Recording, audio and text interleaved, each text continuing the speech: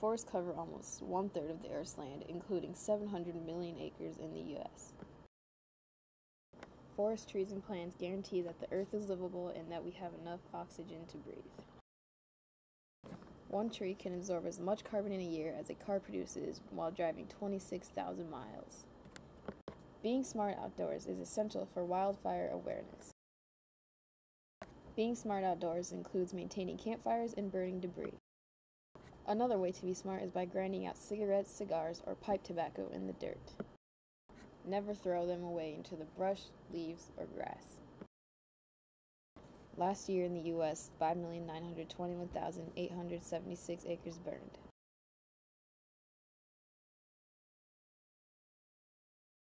Keep in mind that 9 out of 10 wildfires are human caused. And remember, only you can prevent wildfires.